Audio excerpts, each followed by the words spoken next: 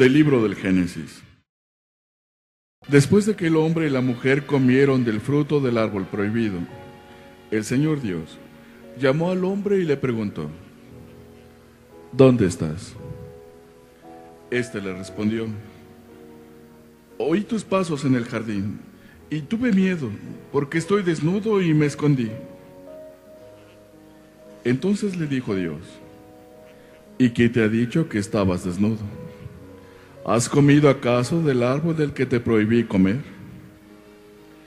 Respondió Adán, la mujer que me diste por compañera me ofreció del fruto del árbol y comí.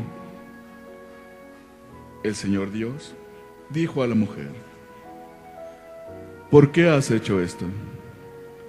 Repuso la mujer, la serpiente me engañó y comí. Entonces dijo el Señor Dios a la serpiente, ¿por qué has hecho esto? Serás maldita entre todos los animales y entre todas las bestias salvajes. Te arrastrarás sobre tu vientre y comerás polvo todos los días de tu vida. Pondré enemistad entre ti y la mujer, entre tu descendencia y la suya, y su descendencia te aplastará la cabeza mientras tú tratarás de morder su talón. El hombre le puso a su mujer el nombre de Eva, porque ella fue la madre de todos los vivientes.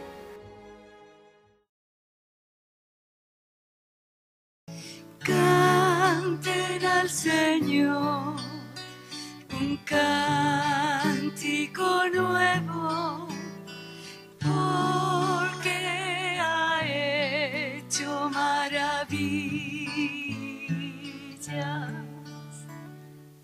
Canten al Señor un cántico nuevo, porque ha hecho maravillas. Su diestra le ha dado la victoria, su santo brazo. Canten al Señor cántico nuevo, porque ha hecho maravillas. El Señor da a conocer su victoria, revela a las naciones su justicia.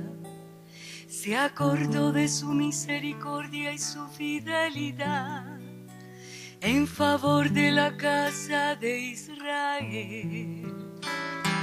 Canten al Señor un cántico nuevo, porque ha hecho maravillas. Los confines de la tierra han contemplado la victoria de nuestro Dios. Aclamen al Señor tierra entera, griten, vitoren, toquen,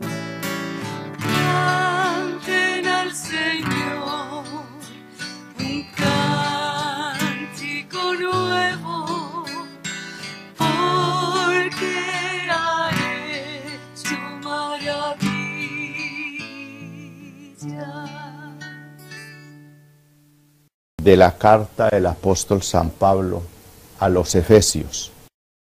Bendito sea Dios Padre de nuestro Señor Jesucristo, que nos ha bendecido en Él con toda clase de bienes espirituales y celestiales.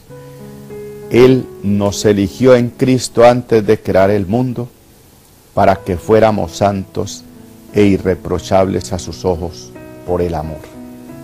Y determinó, porque así lo quiso, que por medio de Jesucristo fuéramos sus hijos, para que alabemos y glorifiquemos la gracia con que nos ha favorecido por medio de su Hijo amado. Con Cristo somos herederos también nosotros. Para esto estábamos destinados, por decisión del que lo hace todo según su voluntad, para que fuéramos una alabanza continua de su gloria, nosotros los que ya antes esperábamos en Cristo.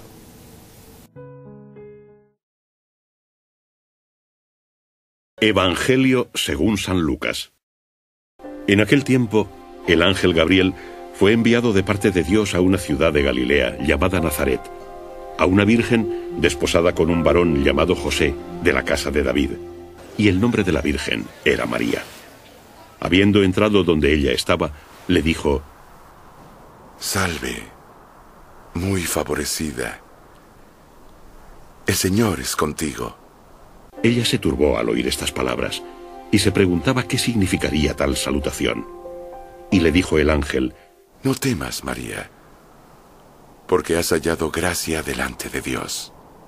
Y he aquí, concebirás y darás a luz un hijo y llamarás su nombre Jesús. Este será grande y será llamado Hijo del Altísimo. Y el Señor Dios le dará el trono de su padre David y reinará en la casa de Jacob para siempre. Y de su reino no habrá fin. María dijo al ángel, ¿Cómo será esto? Porque no conozco varón. El ángel le respondió, El Espíritu Santo vendrá sobre ti, y el poder del Altísimo te cubrirá con su sombra.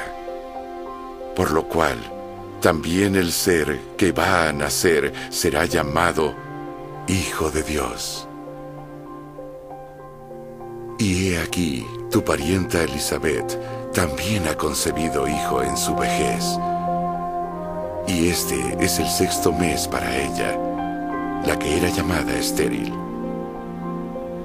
Porque para Dios ninguna cosa es imposible.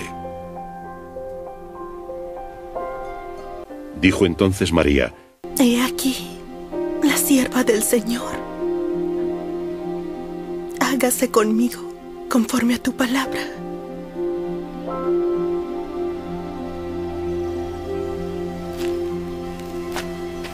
Y el ángel se retiró de su presencia.